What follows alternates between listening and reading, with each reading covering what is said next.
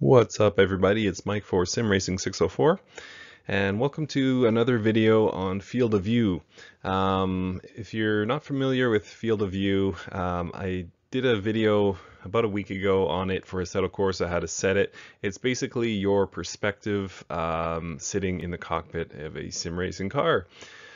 So uh, if you want to know more about field of view, please go watch the other video. I'm not going to get into so much the why or the what it does uh, in this video. I just pretty much want to get to the raw data to help you set up correct field of view in other games.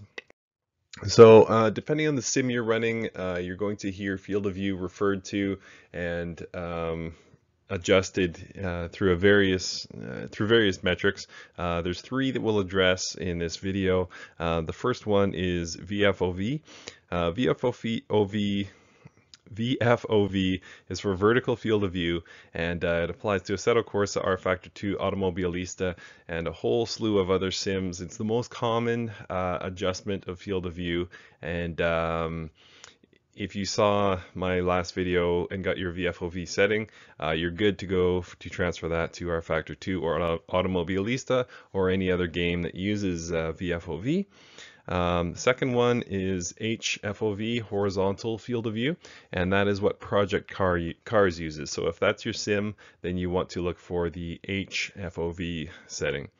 Uh, and lastly, RaceRoom, um, in their quest to do things just a little bit different and uh, make you scratch your head from time to time, they have succeeded by using a field of view multiplier.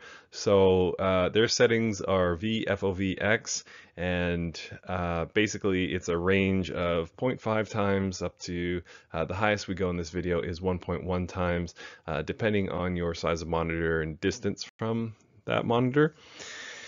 So uh, again, I'm going to get into the raw data, and I do apologize. I've um, I've had to make the tables quite small, so you're probably going to have to stop this video and um, really zoom in. Uh, I apologize. I didn't know how to better present it, but uh, the raw data is there. So um, what I've done once again is um, put the uh, uh, monitor size at the top so you can skip ahead in the video find your correct size monitor um, be it 22 24 27 whatever you have and then uh, just look down in the page see how far you're sitting from it and uh, or approximately how far you're sitting from it and then get your uh, VFOV HFOV or VFOVX setting from that table but again, it is small and I apologize. And uh, once again, same as last time, triple screens and singles will have the same uh, setting. Uh, so whether you're running triples or just a single monitor, you don't have to worry about uh, changing your FOV settings on that.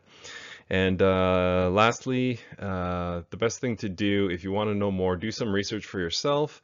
If you want to know about uh, perspective, field of view, and also if you want to get extremely precise, you can use one of the many online calculators and get it down to two decimal places if you care about that kind of thing.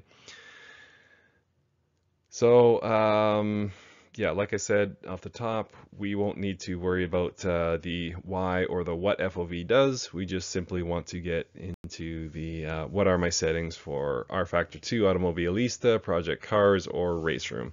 So without further ado,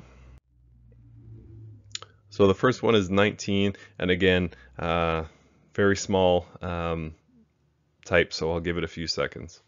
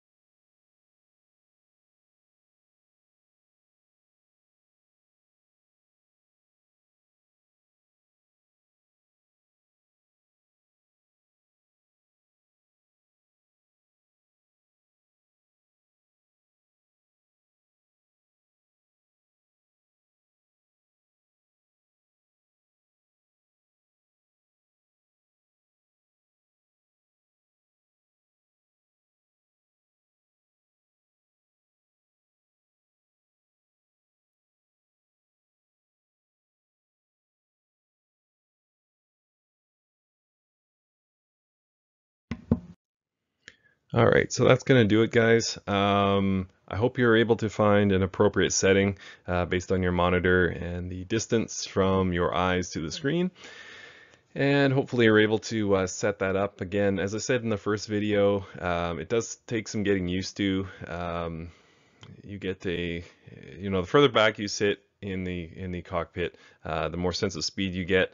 Um, so most likely if you're using a small monitor, you're gonna have to change your field of view to smaller and it's probably gonna feel like you're going really slow and that corners are tighter, but um, stick with it. Uh, watch some of my recent videos if you want to see exactly what correct field of view can mean for lap times. I mean, I was shaving five seconds off a lot of my personal bests. It's, re it's really incredible.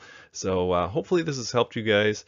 Um, if you're a fan of some of the other racing sims, good for you. They don't get a lot of love, but uh, get them set up correctly and uh, enjoy those games a bit more and uh, help spread the word. All right, thank you so much for watching, and we will uh, talk to you soon.